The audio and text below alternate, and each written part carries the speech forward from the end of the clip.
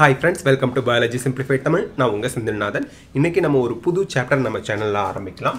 Chapter nineteen excretory products and their elimination class லெவனில் இருக்கிறது.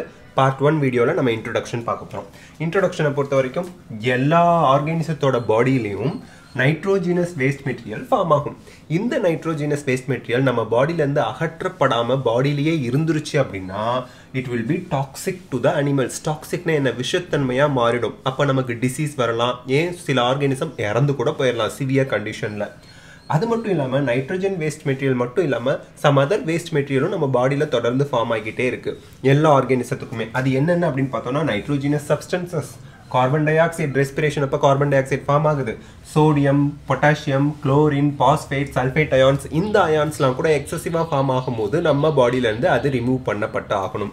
So அதுக்கான ஒரு ப்ராசஸ் தான் எக்ஸ்க்ரீஷன் எக்ஸ்க்ரீஷன் அப்படிங்கிறது ப்ராசஸ் விச் கேரிஸ் அவுட் ரெண்டு விஷயத்தை எக்ஸ்க்ரீஷன் பண்ணுது.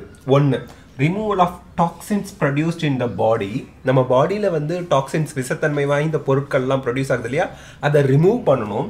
Second maintaining water and electrolyte balance in the body எலக்ட்ரோலைட்டில் இருந்தால் தான் நம்ம ஆக்டிவாக இருக்க முடியும். ஆனால் எலக்ட்ரோலைட் வந்து ஜாஸ்தியாகவும் ஆயிடக்கூடாது ரொம்ப குறைவாகவும் ஆயிடக்கூடாது. தேவையான அளவுக்கு இருக்கணும். அதே மாதிரி தான் வாட்டரும் நம்ம பாடியில் எக்ஸஸாகவும் ஆயிடக்கூடாது ரொம்ப லோவாகவும் போயிடக்கூடாது. தேவையான அளவுக்கு வாட்டர் எலக்ட்ரோலைட்லாம் நம்ம பாடியில் மெயின்டைன் ஆகணும். அந்த ரெண்டு விஷயத்துக்கு ஹெல்ப் பண்ணுற ப்ராசஸ் தான் எக்ஸ்கிரீஷன் இப்போ வந்து பார்த்தீங்கன்னா மோட்ஸ் ஆஃப் எக்ஸ்கிரேஷன் எந்தெந்த வகையில் எக்ஸ்கிரேஷன் நடக்குது நம்ம சொல்லுவோம்ல ஃபோனை ஏரோப்ளேன் மோடில் போடு அப்படின்னு. அந்த மாதிரி மோட்ஸ் எந்தெந்த ஃபார்மில் எக்ஸ்கிரீஷன் நடக்குது அப்படிங்கிறத பார்க்கலாம். ஸோ எக்ஸ்கிரீஷனோட மோட்ஸை பொறுத்த வரைக்கும் ஒரு பர்டிகுலர் ஆர்கனிசத்துக்கு ஒன் மோட் ஆஃப் எக்ஸ்கிரீஷன் தான் இருக்கும். டிபெண்டிங் அப்பான் த ஹேபிடேட் ஹேபிடேட்னா என்ன? வளர்ற இடம். ஒரு ஆர்கானிசம் எங்கே வளருது? அக்வாட்டிக்கா டெரஸ்ட்ரியலா அந்த மாதிரி. வளர்ற இடத்த பொறுத்து அண்ட் கிளாஸ் ஆஃப் அனிமல்ஸ் அது வந்து பிஸ்ஸஸா அப்புறம் வந்து பார்த்தீங்கன்னா இன்செக்டாவா கார்டேட்டாவா மேமல்ஸ் இதெல்லாம் சொல்கிறோம் இல்லையா? இந்த மாதிரி அது எந்த கிளாஸில் இருக்குது அதை பொறுத்து இந்த ரெண்டையும் பேஸ் பண்ணி நம்ம வந்து ஆர்கானிசத்தை கிளாஸிஃபை பண்ணுறோம் மூணு விதமான எக்ஸ்கிரேஷன் மெத்தட் இருக்கு. ஃபர்ஸ்ட் வந்து பார்த்தீங்கன்னா அமோனோடீலிசம் ரெண்டாவது யூரியோடீலிசம் மூணாவது யூரிகோடீலிசம் இந்த மூணுக்கும் நல்ல டிஃப்ரென்ஸ் பார்த்துக்குங்க அமோனோடீலிசம் அப்படின்னா பேர்லேயே இருக்கு. அமோனியா சால்ட் அப்படியே அமோனியம் அயான்ஸை வந்து வேஸ்ட் மெட்டீரியலாக ரிலீஸ் பண்ணுது. அப்போ எந்த ஃபார்மில் வேஸ்ட் மெட்டீரியல் ரிலீஸ் ஆகுது? அதை பேஸ் பண்ணி மூணாக கிளாஸிஃபை பண்ணியிருக்கோம். ரெண்டாவது யூரியோடீலிசம் அப்படிங்கிறது யூரியா ஃபார்மில் வேஸ்ட் வந்து ரிலீஸ் ஆகுது. யூரிகோட்டிலிசம் சி இருக்கு பாருங்க. யூரிகோ யூரிக் ஆசிட் ஃபார்ம்ல வேஸ்ட் மெட்டீரியல் ரிலீஸ் ஆகுது. இது எல்லாமே நைட்ரோஜினஸ் வேஸ்ட் தான். இந்த மூணு விதமான நைட்ரோஜினஸ் வேஸ்ட் ஏன் ஃபார்ம் ஆகுது உடம்புல அப்படின்னா புரோட்டீன் மெட்டபாலிசம் நடக்கிறதுனால. புரோட்டீன் மெட்டபாலிசம் நடந்தால் தான் க்ரோத் இருக்கும். க்ரோத் இருக்கணும்னா ப்ரோட்டீன் பிரேக் டவுன் ஆகி மெட்டபாலிசம்லாம் நடக்க போகுது. அப்படி நடக்கும்போது அதுலேருந்து நைட்ரோஜினஸ் வேஸ்ட் வருது. இந்த நைட்ரோஜினஸ் வேஸ்ட் தான் அமோனியா யூரியா யூரிக் ஆசிட் இது நம்ம பாடியில் ஸ்டோர் ஆகிக்கிட்டே வந்துச்சுன்னா டிசீஸ் வரும். சம்டைம்ஸ் இது சிவியர் ஆகும்போது அந்த ஆர்கானிசமே இறந்து போயிடும். அப்போ அதை ரிமூவ் பண்ணணும். அதுதான் எக்ஸ்கிரீஷன் ஸோ இந்த மூணையும் இப்போ நம்ம டீட்டெயில்டாக பார்க்கலாம். இந்த அமோனோட்டிலிசம் யூரியோட்டிலிசம் யூரிகோட்டிலிசம் இந்த த்ரீ மோட்ஸோட எக்ஸ்ப்ளனேஷன் இப்போ பார்த்துடலாம். எந்த ஃபார்மில் நைட்ரோஜினஸ் வேஸ்ட் ரிலீஸ் ஆகுது அப்படின்னா அமோனோட்டிலிசமில் அமோனியா ஃபார்மில் நைட்ரோஜன் வேஸ்ட் வந்து ரிலீஸ் ஆகுது. அதே யூரியோட்டிலிசமில் யூரியா ஃபார்மில் ரிலீஸ் ஆகுது. யூரிக்கோடிலிசமில் யூரிக் ஆசிட் ஃபார்மில் நைட்ரோஜினஸ் வேஸ்ட் வந்து ரிலீஸ் ஆகுது. வாட்டர் பிளண்டி ஆஃப் வாட்டர் இங்கே தேவை. காரணம் என்னென்னா அமோனியா வந்து ஹைலி டாக்ஸிக் அந்த அமோனியா வந்து அந்த ஆர்கானிசத்தையே கில் பண்ணக்கூடியது. அப்போ அதோட சுற்றி அதோட சரௌண்டிங்கில் ஃபுல்லாக வாட்டர் இருக்கணும். அப்போ தான் அமோனியா டிஃப்யூஸ் ஆகி அந்த ஆர்கானிசத்துக்கு எந்த பிரச்சனையும் வராது. ஸோ லாட் ஆஃப் வாட்டர் இங்கே தேவைப்படுது. யூரியோட்டினிசமில் மாடரேட் அமௌண்ட் ஆஃப் வாட்டர் தான் தேவைப்படும். தேவையான அளவுக்கு இருக்கணும். யூரிகோட்டினிசமில் ரொம்ப கம்மியான வாட்டர் தான் தேவைப்படும். ஏன் அப்படின்னு நான் உங்களுக்கு சொல்கிறேன் எந்த ஃபார்மில் எக்ஸ்கிரீஷன் மெட்டீரியலை வெளியேற்றுது அப்படின்னா அமினோட்டோலிசம் வந்து பார்த்தீங்க அப்படின்னா லிக்விட் ஃபார்ம் அதே யூரியோட்டிலிசம் வந்து பார்த்தீங்கன்னா யூரின் லிக்விட் ஃபார்ம் தான். யூரியா வந்து வாட்டரில் மிக்ஸ் ஆகி வெளியே போகிறது இங்கே வந்து பார்த்தீங்கன்னா செமி சாலிட் ஸ்டேட்டில் யூரிகோட்டிலிசமில் ரிலீஸ் ஆகுது. டாக்ஸிசிட்டி அப்படின்னு பார்க்கும்போது அமோனோட்டிலிசம் வந்து மோஸ்ட் டாக்ஸிக் விஷத்தன்மை அதிகமாக வாய்ந்தது. அதே யூரியோட்டிலிசம்ங்கிறது லெஸ் டாக்ஸிக் உள்ளதுலேயே ரொம்ப ரொம்ப கம்மி வந்து யூரிகோட்டிலிசம் தான். யூரிக் ஆசிட் தான் லீஸ்ட் டாக்ஸிக். விஷத்தன்மை ரொம்ப குறைவானது. இதில் வந்து பார்த்தீங்கன்னா யூரியோட்டிலிசமில் நம்ம ஹியூமன் பீயிங்லாம் இதான் நடக்குது.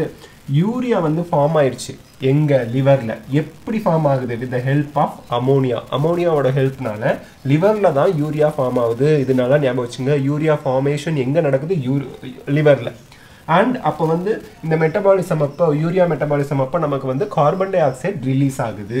ஓகே நெக்ஸ்ட் எலிமினேஷன் எப்படி எலிமினேட் ஆகுது? சிம்பிள் டிஃப்யூஷன் அப்படியே பாடியிலேருந்து அமோனியா அயான்லாம் அப்படியே டிஃப்யூஸ் ஆகி வெளியே போயிடும். யூரியா வந்து பிளட்டில் முதல்ல கலக்கும். அதுக்கப்புறம் அந்த பிளட்டு வந்து கிட்னியில் ஃபில்டர் செய்யப்பட்டு யூரியாவை மட்டும் எக்ஸ்க்ரீட் பண்ணிடும். இங்கே கிட்னி வந்து play a vital role but in ammonotelism கிட்னிக்கு main role எதுவுமே கிடையாது. Kidney doesn't play a main role இங்கே கிட்னிக்கு இம்பார்ட்டன்ஸ் கிடையாது. அதே மாதிரி வந்து பார்த்தீங்கன்னா யூரியோட்டிலிசமில் கிட்னி தான் யூரியாவை வெளியேற்றுது ஃபில்டர் பண்ணி எக்ஸ்க்ரீட் அவுட் பண்ணுது. அதே சமயத்தில் கொஞ்சோண்டு யூரியாவை கிட்னி வந்து ரீட்டைன் பண்ணி வச்சுக்கும். ஏன்?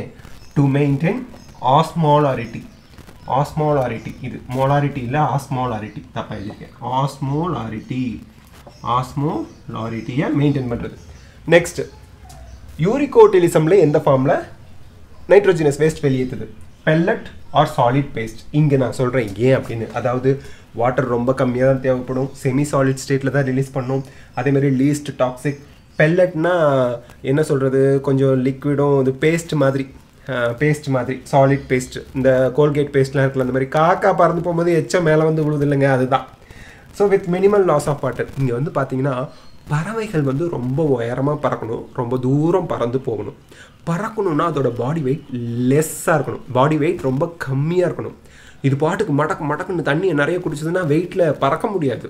ரொம்ப தூரம் ட்ராவல் பண்ண முடியாது. ரொம்ப உயரமாலாம் பறக்க முடியாது. பாடி வெயிட் இன்க்ரீஸ் ஆயிரும். அதனால் பாடி வைஸை வெயிட்டை வந்து எப்பவும் லீஸ்ட்டாக ரொம்ப கம்மியான பாடி வெயிட் லேஸாக வச்சுக்கிறதுக்காக தண்ணி ரொம்ப கம்மியாக குடிப்பாங்க.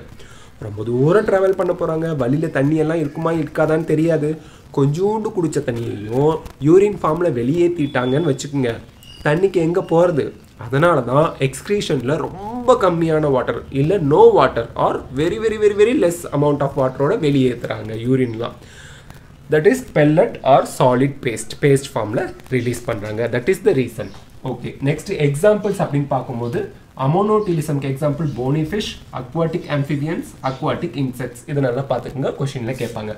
யூரியோட்டிலிசம்க்கு example mammals many terrestrial amphibians terrestrial amphibians aquatic amphibians வந்து அமோனோட்டிலிசம் டெரஸ்ட்ரியல் ஆம்பிபியன்ஸ் வந்து யூரியோட்டிலிசம் மெரைன் ஃபிஷஸும் யூரியோட்டிலிசம் தான். இந்த எக்ஸாம்பிள்ஸ் கொஷினில் கேட்பாங்க ஞாபகம் வச்சுங்க.